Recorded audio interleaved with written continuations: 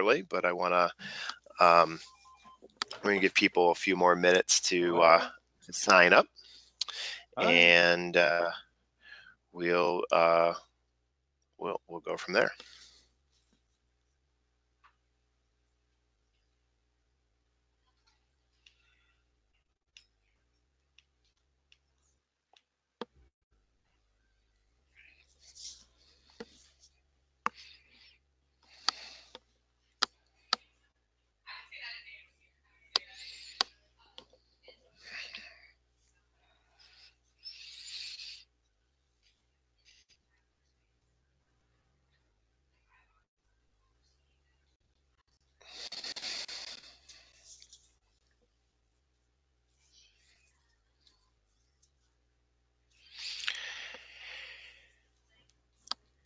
All right, we're going to get started in about one more minute. We've got our panelists signing on board here and uh, just making sure that technology is all up and running for what promises to be a great uh, policy session on an increasingly important consumer issue uh, facing, frankly, all of us.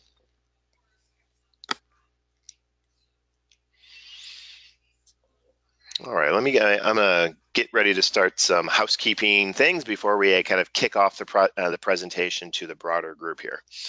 Um, like I said, uh, the, the top of the hour here. I want to thank everyone for joining us for another edition of Public Leadership Institute's uh, Policy Leadership Series uh, sessions. Um, this particular one entitled uh, "The Right to Repair: A New Movement Emerges," and we're going to be talking about this from a consumer advocate point of view, and specifically as it relates to policy changes being advanced at the state uh, level around the country.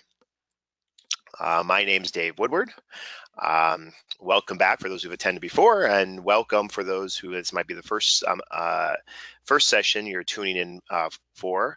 Um, I'm the National Network Director with the Public Leadership Institute. I'm also a county official and former state legislator, and I have the great honor of serving as um, your host uh, today and be fielding any questions um, that you may have about today's presentation little background, if, if this is your first time joining us, the Public Leadership Institute, a nonprofit, nonpartisan uh, policy and leadership center, really focused about bringing public uh, awareness and attention to a lot of key issues, particularly around the areas of equity and justice. And we work with public leaderships like many of yourselves to uh, improve the economic and social conditions for everyone. Um, you can get a lot of our information um, by going to our website at publicleadershipinstitute.org. Um, there you will find a host of publications many that are uh, pictured there right on your screen that are available for download free, or most of the publications are available to be um, purchased on Amazon if you would like a hard printed copy, um, a, a, printed edition of some of these communication tools, um, uh, policy manuals, and advocacy um, uh, uh, uh, books and toolkits to be more effective in advancing your work. We do really want these sessions to be as value added as possible to help support your leadership uh, in your uh, state and local community. Um, to that end, we've got a number of ways that people can participate in today's session. Um, we have, uh, if you are joining us by uh, um, uh, have audio capabilities. Um, we would love you to be able to ask your questions of our very talented panelists, which I'm going to introduce in just a minute. By clicking on the hand icon and put you in the queue, and then happy to um, unmute you when we um, allow for plenty of Q&A over the course of today's presentation. I also realize that people join us from a variety of locations, and so sometimes typing questions in questions in is easier. Uh, type your questions in the question bar and we'll take those questions as they come in. And you've got my email there on the board, um, dwoodward at publicleadershipinstitute.org. Feel free to email me if there are questions that come up even after that we conclude today. We will be putting this up in our um, web channel, um, but we will uh, but if there are questions that come be, between and after that, we'd love to direct them to our wonderful esteemed panelists that are here joining us uh, this afternoon and, and be happy to do that. So today's uh, topic, uh, the right to repair, a new movement emerges. Um, really is going to is uh, I mean, as when you all signed up, um, recognizing it's getting harder and harder to repair the stuff that we already own, stuff that we paid, in some cases top dollar to have, and that's why, and many of that's by design. And frankly, it adds cost to consumers and contributes to needless waste, especially um, electronic waste, which is toxic and expensive as a process to deal with as, as itself. Um, that's why a group of consumers, repair enthusiasts, and businesses are getting behind this right to repair or fair, uh, fair repair reforms to give people the independent business uh, businesses access to what they need to fix the stuff that we're buying. Replacement parts tools repair manuals diagnostic software. And so this webinar really is going to um, be talking about leaders in this movement um, to really talk about what is being done what can we do what, what more can we do um, to um, bring um, this topic um, uh, front and center um, and achieve the policy changes necessary to uh, really relieve or provide more pro-consumer policies um, to improve the conditions for all of us. To that end, let me introduce um, uh, our first panelist, Nathan Proctor, um, who directs U.S. PIRG's uh, Right to Repair campaign. Nathan's 13 year advocacy and organizing experience includes managing the Public Interest Network's online lab, uh, a test bed for advanced online campaign tactics, and overseeing communications for um, uh, CalPIRG, uh, based in California, um, the Environment um, Environment California, and a number of other advocacy organizations. Uh, graduate of Tufts University, he lives in Arlington, Massachusetts, with his wife and two children. Nathan, thank you very much for being with us today. Glad to be here. Great. Let me introduce uh, two more of our panelists that will be joining us. Um, first, we have uh, Kyle Wiens, uh, who is the CEO of iFixit, uh, the free um, the free repair manual. He's dedicated his life to defeating the second law of thermo thermodynamics, a battle fought in the courtroom as often as in the workshop. iFixit empowers millions of people to repair their broken stuff every single month. Um, he's testified on electronic exports to the International Trade Commission and is actively involved in developing global environmental standards. The Right to Repair campaign has so far successfully legalized cell phone unlocking and tractor repair. So we're glad to have Kyle with us. I think will be joining us in just a moment. And last but not least, um, we're very fortunate to have Gay Gordon Byrne, uh, who's the executive director at the Repair Association. The Repair Association has been instrumental in fighting for the right to repair in the Congress and, and, and in the states. It was, um, it was uh, this team that won the right to unlock cell phones, including having the um, uh, having to muscle a bill through, through, through Congress to achieve that is um, their team that won the multiple exemption requests in front of the U.S. Copyright Office to unlock cell phone tablets and other mobile devices. And it was, uh, I mean, this this organization's leadership's deliberate plan to file copyright exemption requests to allow tinkering with land-based motor vehicles on behalf of modern of modern agriculture. Um, a true champion for consumers. Gay, thank you for being with us today as well. Hey, happy to be here. Great. Well, like I said, that I mean, we're gonna dig deep into this right to repair movement and what it is, and to that end, I'm gonna hand over controls to Nathan, who will kind of like give us a give us an overall framework of what this what this uh, right to repair campaign is about, and then um, bring Kyle and Gay into the conversation as it's happening. Awesome. Well, thank you uh, for that introduction. Uh, I'm Nathan Proctor. I'm the I work with US PIRG um, on the Right to Repair campaign. I'm just trying to. Okay, here we go. Um, excellent. Okay. Oh, I have this little thing. This is probably getting in your way. Um, I think you know, to repair reforms have been introduced all over the country. So, you know, there's a lot of people who might be dealing with this issue right now. Um, and we want to talk about kind of the way people experience the underlying problems of the barriers that exist to repair, um, why we need new laws to protect repair, uh, how our model legislation works, and you know why it matters. And we'll, we'll pause for questions. I think about halfway through, as is the tradition here. Um, so so please do kind of realize that halfway through this, I, will I'll pause to give you an opportunity to ask questions. Um, I did want to start with uh, a story which I thought uh, kind of introduced a lot of people to the issue of um, the need for this. So in August, in December of uh, 2017, Apple got caught um, and admitted that they were slowing down iPhones by throttling the processors um, if the phones had a battery that was worn down. Um, this is included in a software update um, to the phone, um, which you know if you have an iPhone is pretty difficult to avoid. Um, and they did it without telling customers. They only kind of owned up to it after others had figured the issue out. Um, so now a lot of people are upset about this. You know, the idea of Apple slowing down your phone without telling you, um, you know, kind of got rubbed a lot of people the wrong way. So even even if they were just trying to address the performance issues related to old batteries and not, you know, say covertly pushing people to upgrade their poorly selling uh, new iPhones, um, it was a pretty sneaky way to do it. Um, you know, why, why not tell people that their batteries needed replacing and let them choose what to do? Um, you know, batteries are basically the one part of your phone that's guaranteed to wear out. You know, they last about 500 charges according to Apple. And, uh, you know, that's a year and a half of daily charging, probably two years. Um, you know, and after people had figured out what was wrong, um, they wanted their batteries fixed. They just wanted their phones working again. And so Apple ended up offering a reduced pat, uh, you know, price for their batteries. Um, but they couldn't keep up with the demand. You know, run, don't walk to replace your iPhone battery for $29. Huge wait list formed. Some people were being told that they were going to have to wait three, four months before Apple could slot them in. So people started to um, kind of look elsewhere. Uh, and, and that kind of brings us to a report by US PIRG earlier this year called Recharge Repair.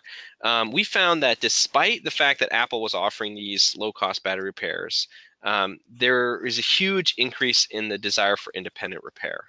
Uh, we surveyed 164 small businesses with help from iFixit and the Repair Coalition, uh, and we found a 37% surge in battery replacement requests after this announcement by Apple was made. There was also a 153% increase in traffic to the um, self-repair instructions uh, available on iFixit.com. Um, and so you know, this this problem could have easily been resolved if Apple had allowed the 60,000 small electronics repair shops in America to repair the batteries on these phones. But they set up a bunch of hurdles to make that difficult or impossible.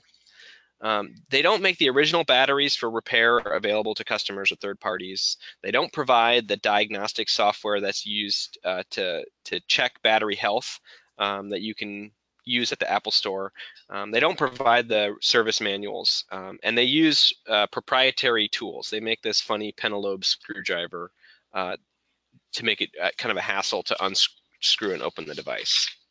So that's kind of what Right to Repair kind of gets to. Um, you know, right to repair would require original equipment manufacturers, what we call the OEMs, to provide access to the parts, tools, schematics, and diagnostics to fix our stuff um, on fair and reasonable terms. Um, and that the definition of fair and reasonable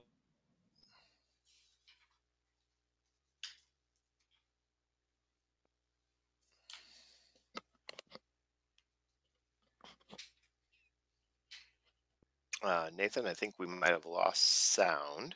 Nathan may have jumped out. Hey, this is Kyle. I can I can step in and fill in the fair and reasonable no, no. definition. Nathan, are you back? Yeah. Okay, we lost you for a sec. Go for it. Oh, okay. Um, I was like, so a company like iFixit can sell you the replacement battery, special tools. Their their repa- their online repair manual is fantastic. Um, but you know, the, there's hundreds of millions of iPhones. There's a lot of products that there aren't a hundred millions of copies of, and you know, even even if right repair would have meant that the throttle gate would have been solved, you know, within days instead of the logistical nightmare that a lot of people experience. You know, still to this day, I have an old battery on my phone, but I, you know, I haven't bothered to take it to the Apple store, so I'm just kind of limping it along. Um, you know, there are many products that don't have that same kind of uh, the you just can't find the parts you know? And so if you're the manufacturer you might charge an incredibly price gouging amount uh, or you might just not sell it and, and force someone to trash something when they just have broken a small part. You know it right. adds to it adds to waste that's what we're seeing oh, with devices. I mean there's over 5000 different android phones on the market you have a lot of these asian manufacturers that'll come in and they're they're almost dumping products on the market they don't they don't behave with the same level of responsibility that an American manufacturer would. Yeah.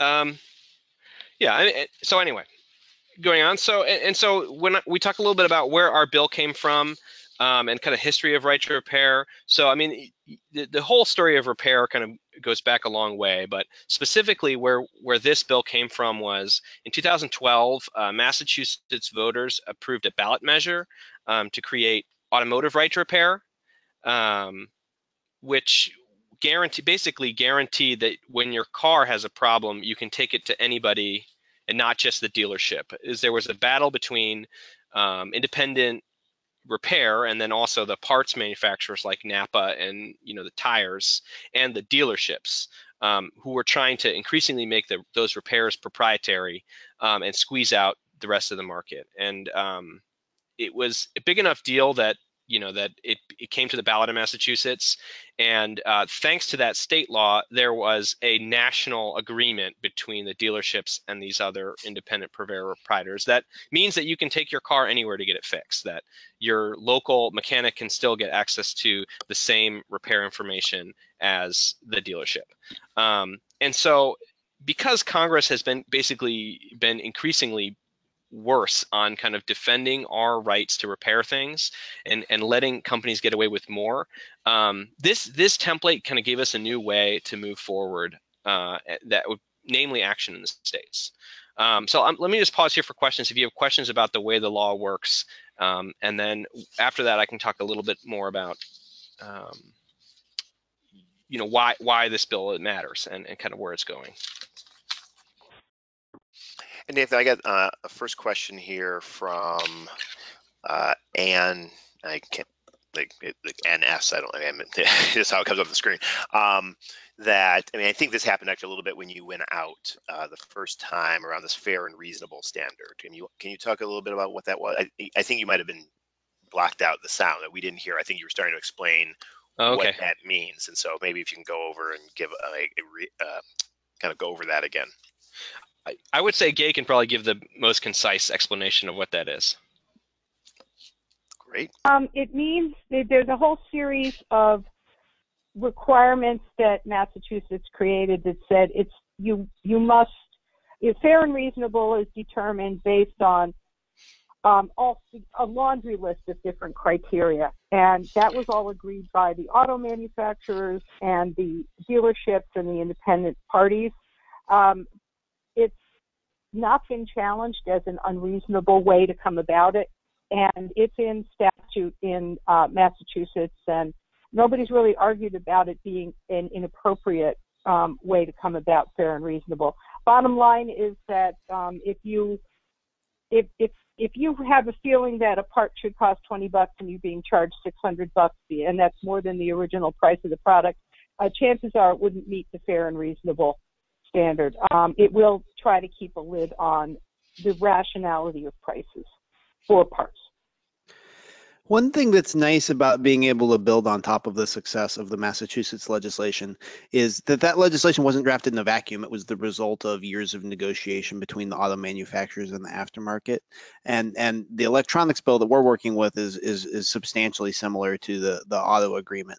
So it's uh, this uh, the the reference legislation is the result of extensive negotiation and compromise um, with manufacturers already, which I think puts us in a good place. There's going to be less, I think, back and forth with the manufacturers on this one. We're already coming in with pretty sound policy. Great.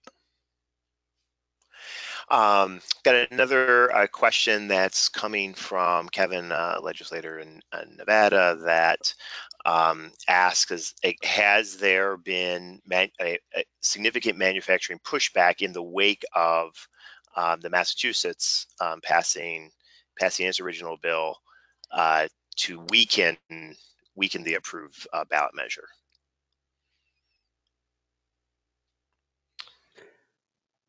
Yeah. So, Um, um, Jay. oh, Hey, I could I could speak to that. So far as we know, not. Um, the the Auto Industry Aftermarket Association um, has been evaluating whether or not compliance has been good with the legislation, and they are not complaining. I would I would suggest that that means that it's working. Um, uh, we know that there's a few foot draggers out there um, on various parts of compliance, but by and large, nobody's challenged the bill in court saying this is unconstitutional or it's inappropriate for states or it's uh, it's somehow wrong. Um, they seem to be pretty happy with it. Right, and there hasn't been legislation introduced to reverse this. Actually, after Massachusetts passed the bill, the auto manufacturers agreed to apply that bill nationwide. Uh, so now we have a memorandum of, of understanding between the auto manufacturers and the aftermarket, in addition to the state law. Uh, so it was a very effective tool. It, I think it really shows the power that the states have to uh, to set forward-looking uh, public policy that that has the ability to impact um, more uh, more trade than just what's happening inside the state. Great. Um, we got a question here from uh, Marvin that poses, and I just want to read this as, uh, how about um, the movement where the company says it isn't really selling you a product when it sells you sells you a product like uh, um, started with a C and software um, that's that's being spread and kind of like the Monsanto I mean, argument, and so it's it's claiming that uh, the proprietary ownership of these parts. Like, is this? Uh, have you? Like, how have that? How, how has that tension been resolved of the I mean, owning the proprietary thing that's absolutely essential to run the product, but you obviously have parts that are necessary to run it. Yes, that's a great question, and that's something that we're increasingly concerned about. As part of this discussion, John Deere told farmers that they didn't really own the software in the tractor; they just had an implied license to operate the vehicle, uh, and Uh. clearly that's not okay. Uh, we're running up against, I mean, and this is going to happen more and more over the next decade, where the the sort of rights that we come to expect with personal property are not the same rights that we have with intellectual property. And as uh, software and electronics are move into everything, uh, it's it's going to be hard to buy any product 10 years from now that doesn't have a microchip in it. We need legislation like this to to reset the balance. Uh, one of the things that that this bill I mean, you can imagine a situation where you bought a refrigerator and um, it has some smart capacity, and then the you know you've had the refrigerator for five years, and then the manufacturer decides that the software they will no longer update the software. So you still have a perfectly functional refrigerator, but you can't operate it because the software is no longer supported. Um, and Right to Repair gets to some of these issues by giving you access to, um, it, it's included in the things you get access to, but th- these are these will be issues that we will need to fight about for a while. Um, companies have just been have gotten way too aggressive um, in the way that they kind of use software to control obsolescence. Yeah, I think you can think of this as the first step in a direction to restore the property rights balance. It's a great way of thinking about it. If people have any uh, additional questions, uh, feel free to click on the hand icon to ask your questions live to our very esteemed panelists or type questions in the question bar and we'll um, be happy to bring them up.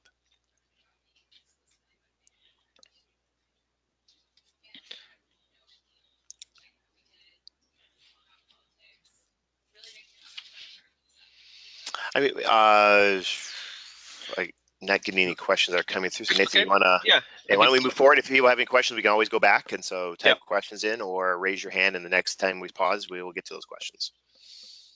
Yeah. So, uh, you know, I want to talk a little bit about, you know, we talked about, touched on some of this with your questions, but, you know, why this is an issue that is not just, um, it's an issue that has profundity, I guess it would be one way to say it.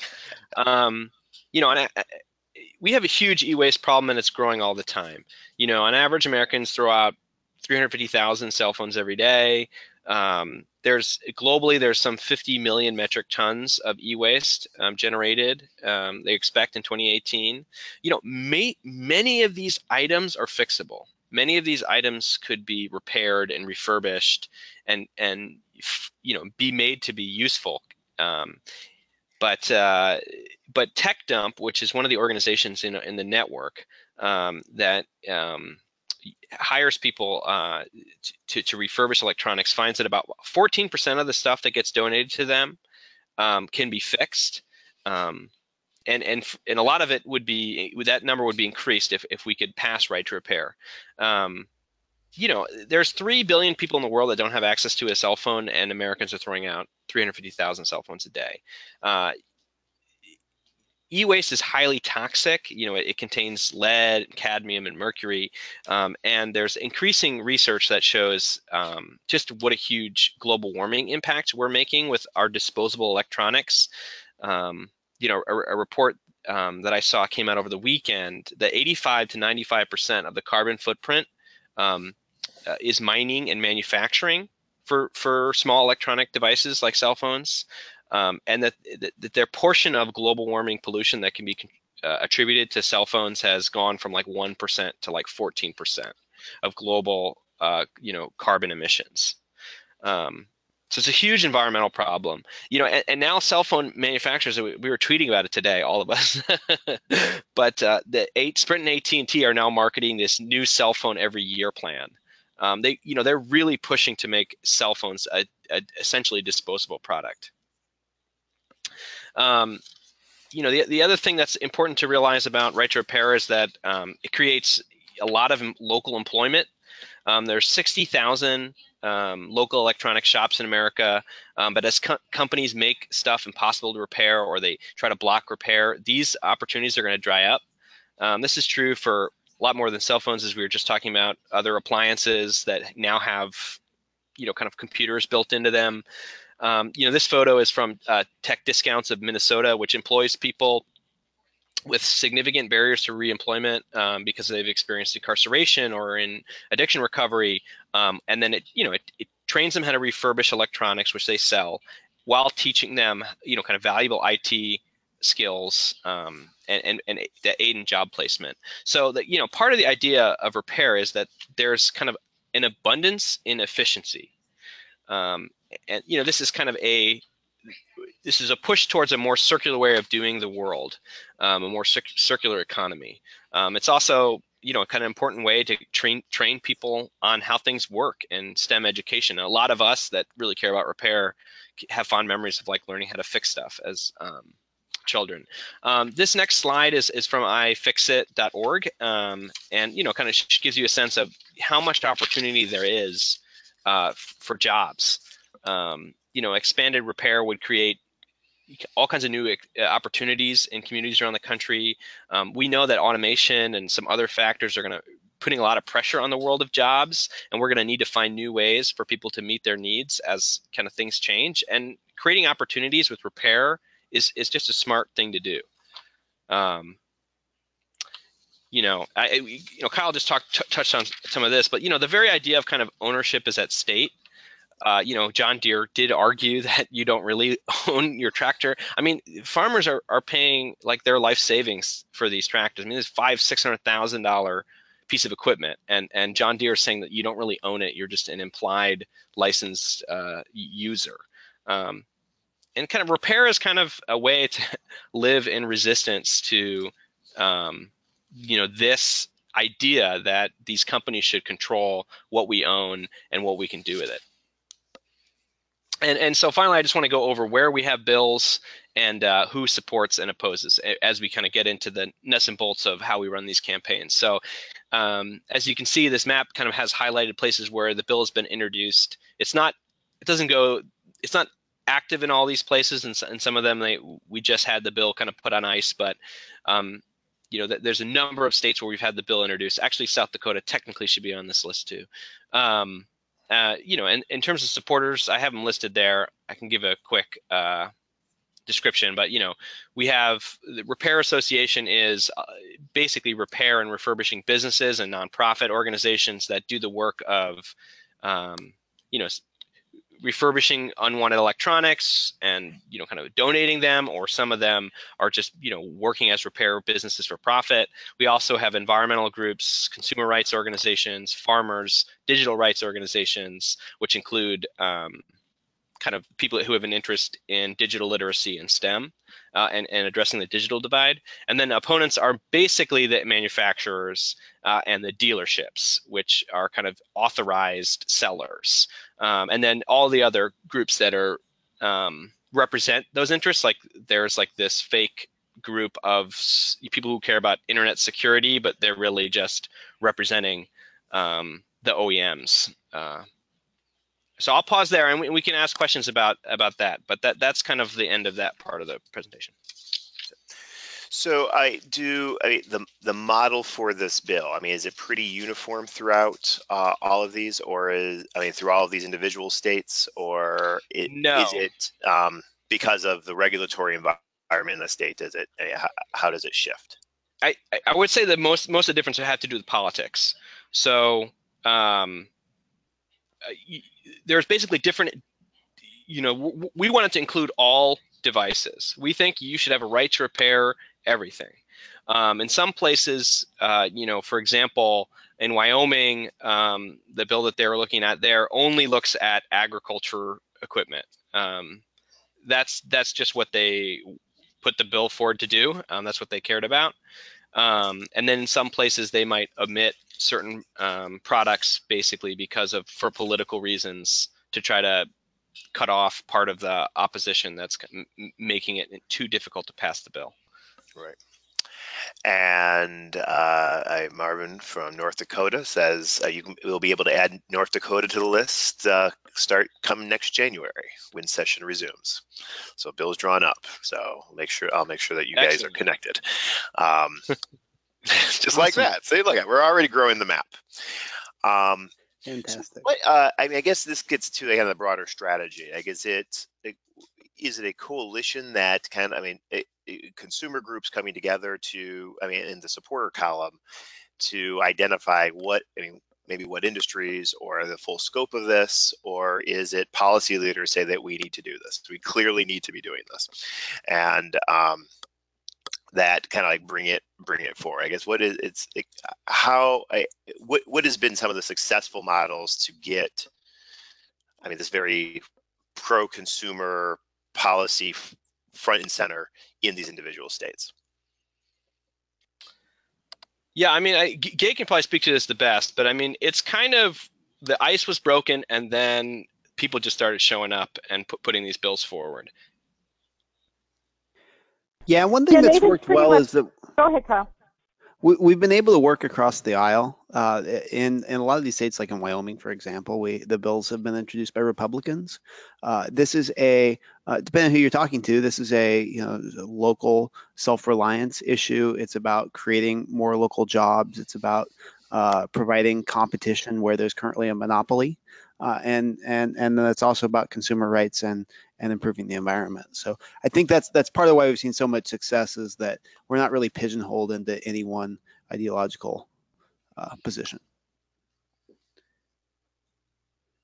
I think the other aspect um, is that a lot of people have been very personally frustrated by repair monopolies that they experience on a daily basis.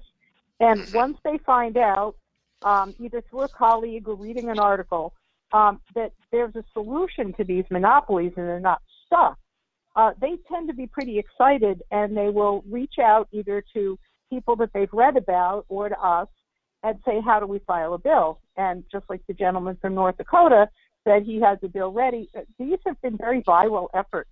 We have not, I mean, we kicked off the first um, the first few bills, but most of them have come about as a result of discussions between legislators in different states and not directly because of us. So we're very happy to see that because it shows that the problems of monopolies that we've been raising the alarm about are in fact um, as alarming to everybody else as they are to us. Great. Is there uh, I mean, among, particularly among bill sponsors or coalitions that are helping support an individual and individual state, uh, is there uh, some coordination or sharing of best practices uh, to help support the advancement of those? I mean, obviously, it's going to be different based on um, based on individual state, but it, it just as um, I think Kyle I mentioned, given the the broad appeal across the political spectrum around these, uh, it, it, seems like it would lend itself to creating space to draw on resources to help support this. Yes, we've been able to build a pretty good playbook. Uh, we we can provide uh, sponsors, anybody who's working on it, with uh, example letters from the opposition before they get going. Uh, we are able to, once a state introduces the bill, we're able to turn on our grassroots network. Uh, iFixit has a few hundred thousand members across the country, um, and we've, I mean, just well, just in the last week, we've sent, we've seen our members write a thousand letters to legislators across the country. Uh, so we're able to get some kind of grassroots activism going once we know that we've got boots on the ground in the state to introduce a bill. Great. We've also got um, among these supporting organizations, some of them, as you know, for example, Nathan and um, the various public interest research groups and consumers union and some of the other groups are are very well organized nationally. Um, the, the um, american farm bureau federation very well organized. Um, and they're in very consistent support of these bills in the local legislatures. So it, it's really we're we're almost like the umbrella and like the um, the orchestrator as opposed to um, anything else. I mean, we can only do so much guidance and help as much as we can, but it really winds up so far being a largely grassroots effort um, up against very organized lobbyists. Great. Uh, I got a question here from Danielle in, in Georgia asking where, I, I, seeing the opponents, particularly, I mean, as manufacturers as opponents, uh, how do Chamber of Commerce uh, entities uh, play into all of this? it would seem to me that they're, I mean, they might get split across supporters and opponents based on based on industry and member. Um, but can you speak to that? Sure. We've seen um, chambers in some states come out in opposition, and we've seen mostly silence. Um, the National Federation of Independent Businesses has been more consistently favorable, uh, but depends on who the members are and how much money they have to influence the position of the organization. Uh, chambers tend to be dominated by larger companies, NFIB by smaller companies. So you can see there's a bit of a um, there's a bit of a mismatch. Right. Yeah, mostly the the opposition will show up at the hearing room, et cetera, as you know this local manufacturers association, um, but they're they're representing the OEMs. I mean, a, a, good question to ask whenever they show up at a hearing would be like, well, how many people manufacturing things in this state would this apply to? right. probably zero. Right. Uh, Gabriella is asking the, the, question of where do they get access to model bill uh, legislation? the model bill legislation is available at repair.org. Um, if you go onto, is it about legislation? And then there's a link for it. Um, obviously, uh, we can provide that in in in whatever. Um, uh, but yeah, it's it's pretty easy to find. Great. It's very easy to find. Plus, all of the active bills are up on Legiscan, and um, they're all. To the earlier question, they're all extremely similar.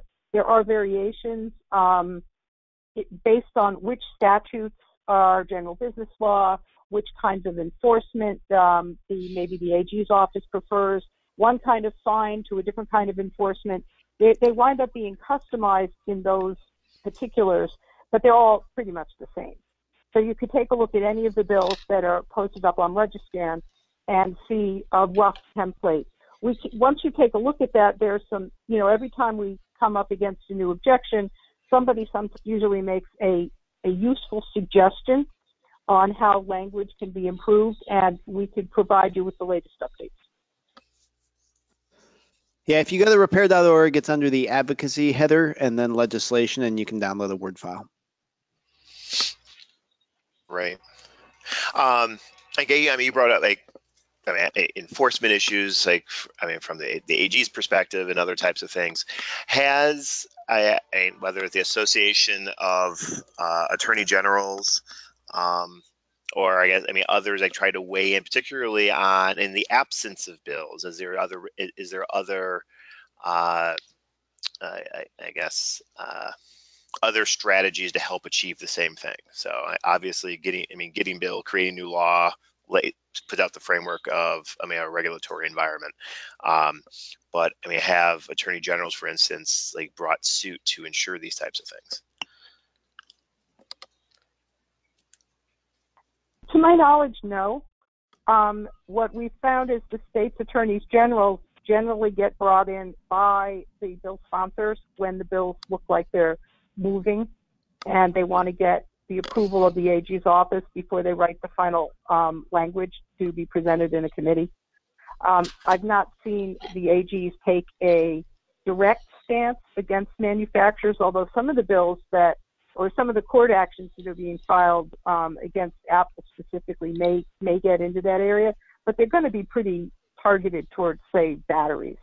Uh, we've also been trying for years to try to get the um, the environmental standards groups to write better legislation or create better standards that will be more focused on repair, and that has been a huge a huge disappointment. Um, not because we aren't doing the work and because people don't understand, but the way most standards organizations are are are actually functional is the OEMs have a big vote. And so we'll get a standard put together and then it goes out to balloting and the OEMs say absolutely not. And so the standards are not moving. Um, it, the standards really haven't been improved in many years and they're not going to be. Uh, OEMs are preventing it. Got it. Yeah, one thing, one another way that people have been putting pressure on the manufacturers, and this is kind of um, some of it's coming come out of Apple's big reveal that they had this um, new iPad that they wanted to sell in schools, and then uh, uh, iFixit kind of flunked that same device in terms of repairability. Um, iFixit does these teardowns and repairability scores, which you should totally check out. Is um, uh, you know people are you kind of making reference to repairability and the things that companies are doing when they get into purchasing.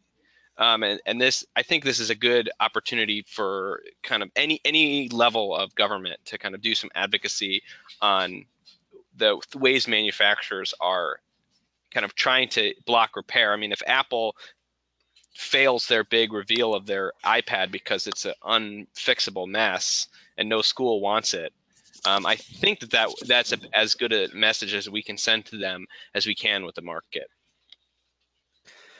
Yeah, one of the interesting trends with consumer electronics recently is is everything, of course, has a battery, and the batteries are integrated. In order to make devices thinner, the manufacturers have started gluing in the batteries, uh, and of course, that that creates challenges like what we're seeing around the iPhone uh, it creates challenges for users because you have to replace your battery every 18 months, and if it's glued in, the manufacturer won't give you a battery or won't sell you a battery, then you're forced to go back to them. Uh, it's also causing significant challenges at recycling, and we're seeing more and more municipal uh, uh recycling facilities. Uh, we're seeing um, uh, electronic specialty recyclers have have fires. So what happens is normally they they take electronics apart and they run them through a shredder. You can't put a battery through a shredder uh, without causing a fire and so it's causing very expensive time consuming manual disassembly where the recyclers have to pull apart every single ipad that comes in and and like use a spatula or a pry bar to pry the battery out and hope it doesn't catch on fire in the process. Um, it's it's increasingly difficult. We had a uh, a very expensive multi-million dollar fire at a bay area in California recycler that was caused by a lithium battery. And you're going to see more and more of these. I was speaking this morning with a group of waste management professionals across California that are increasingly frustrated. Uh, and so I think you're going to see municipalities and uh, recycling organizations get more and more vocal as batteries are moving into more and more products.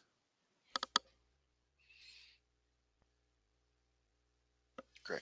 Uh, I guess related to that, obviously, state legislation being introduced to set, I mean, the, the, the regulatory environment for that respective state. But I mean, in, in kind of you jumped into this.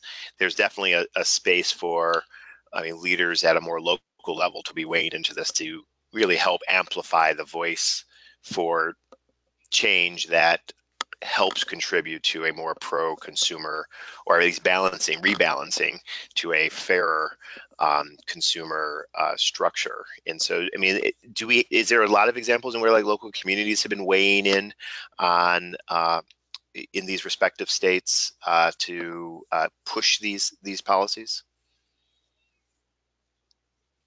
I think you're already seeing schools voting with their pocketbooks. Schools have substantially switched away from using Apple products to using Chromebooks over the last five years. And it's like Apple used to make really repairable, really easy to disassemble products. And it's interesting as they've gone toward these glued in products that are made out of glass, the schools have gone the other direction to Chromebooks so they're very easy and straightforward to repair. Mm-hmm. So, so that's an example where, where schools are voting with their pocketbooks.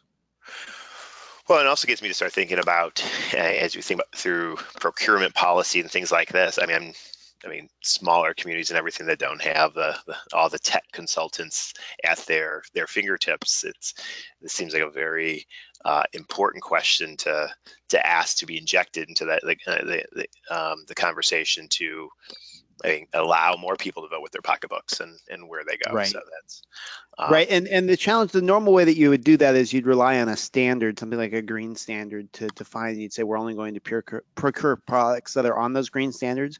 Unfortunately, despite about 10 years of trying, uh, none of the green electronic standards factor in repairability, and that's been because the manufacturers have rigged uh, the process for developing those standards. So there, there isn't a objective tool that, that companies can use. We are seeing organizations like Greenpeace coming out and rating manufacturers based on their repairability now. Uh, so there is some outside information that you can look at, but there is, unfortunately, uh, it's been strategic on the manufacturer's part. There isn't uh, one easy place that you can go and say, okay, this product is okay to procure. Interesting.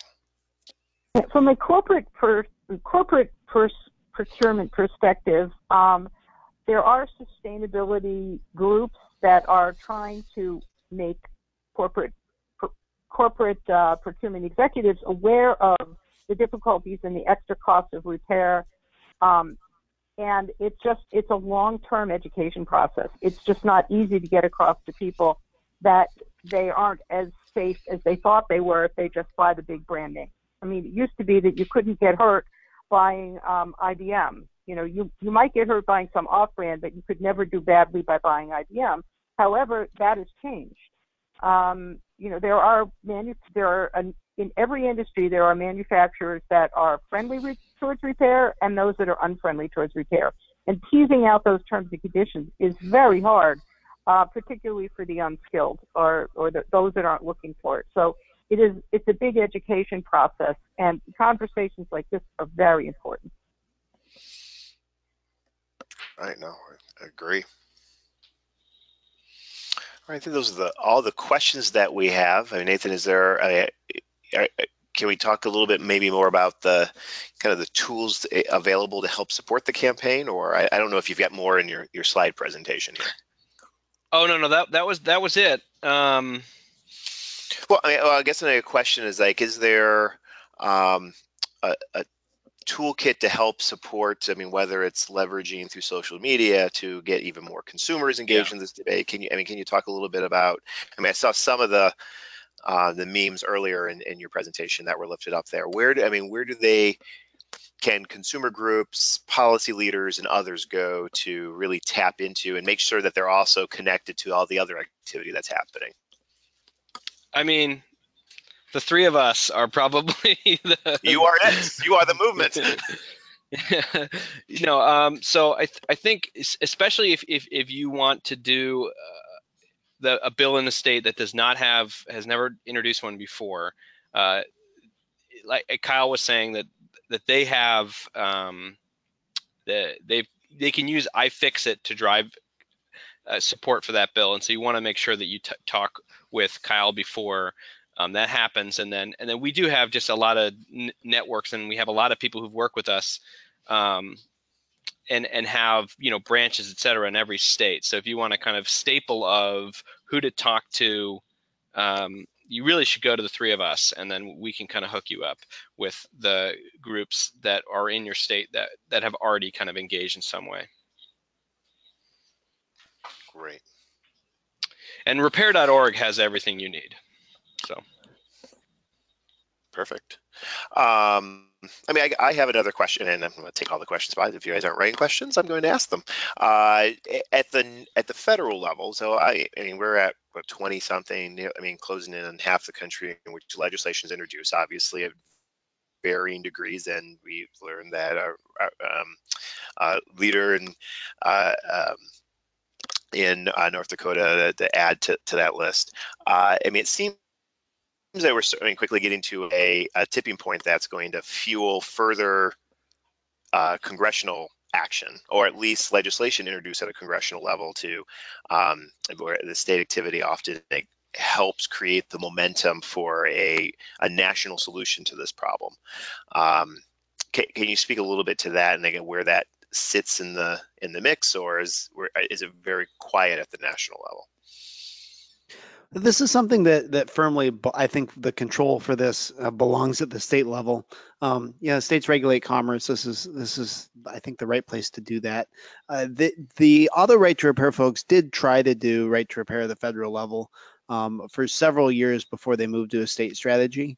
Um, I, at the federal level, the the large corporations have so much influence over the process. It's it's very challenging to get something done.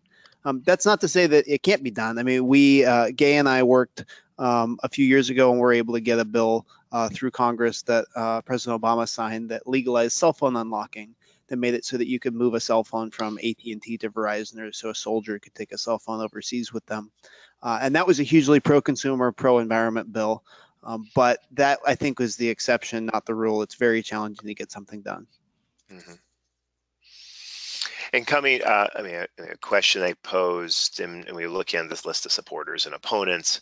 Um, I mean, those that uh, forces that oppose almost any form of uh, of regulation, and I mean, specifically, it's been lifted up like ALEC um, weighing into these fights. I mean, across the country. Um, either fueling their supporters in those respective states to organize and work against, or worse, um, Mean, weakening um, ability to put these pro-consumer policies in place.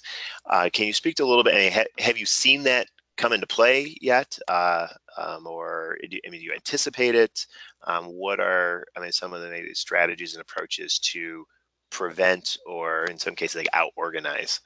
Um, yeah, run those forces. I mean, I think I, I think you got to it right there. I think if we if we're doing it right, then we can flank them.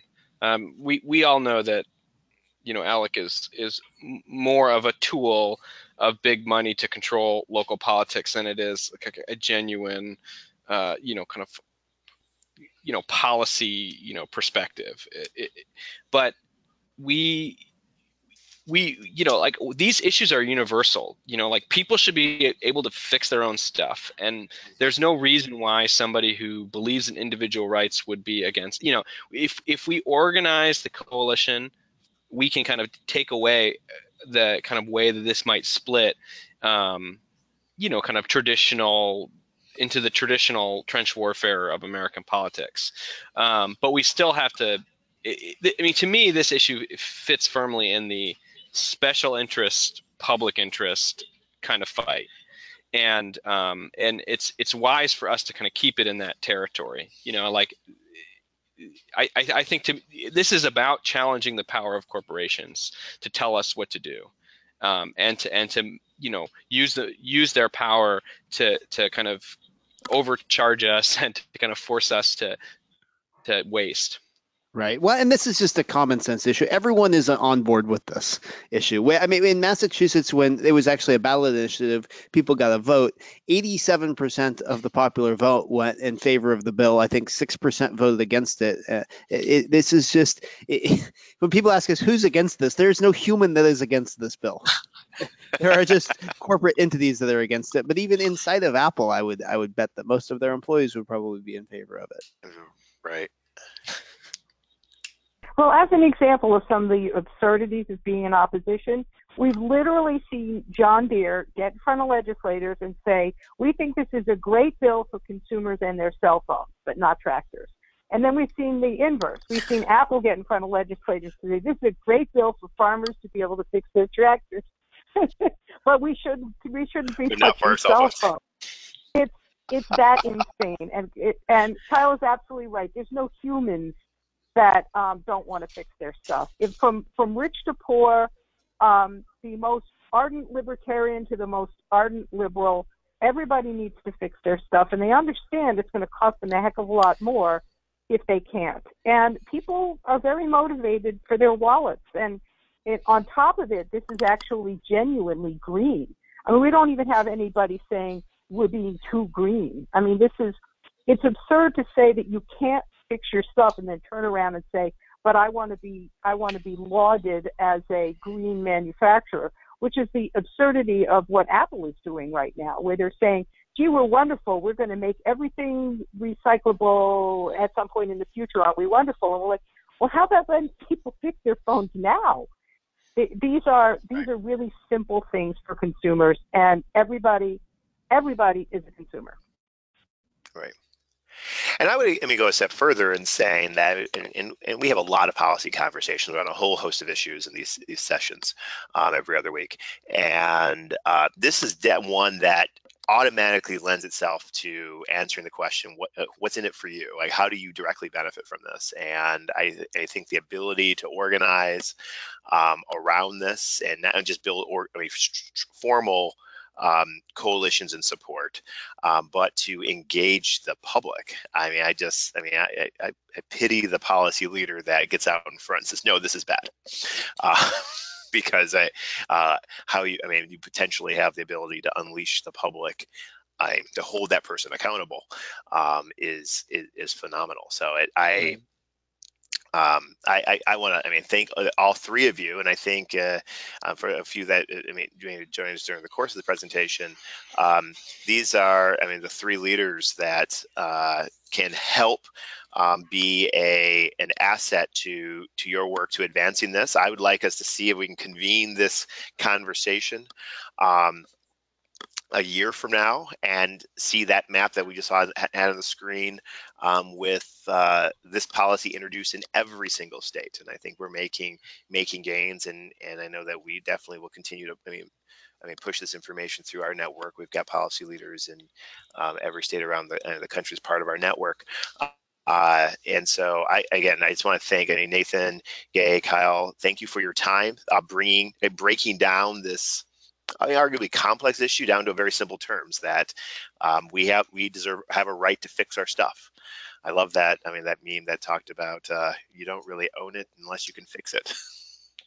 That's exactly right. Yeah, any of us are available. Happy to talk to anybody offline. We'll also be at NCSL in LA. Uh, in, all right. Well, we will see you there. So Fantastic. You there. All right. Well, thank you. Thank you very much. And uh, for everyone joining us, thank you for taking the time. Uh, be in touch, and we will I mean, make sure that uh, the links and the information to this model policy is easily made available to each and every one of you. Again, thank you, Nathan, Gay, Kyle. Thank you for your time. And uh, Absolutely. we'll be in touch. All right. Take care. Cheers.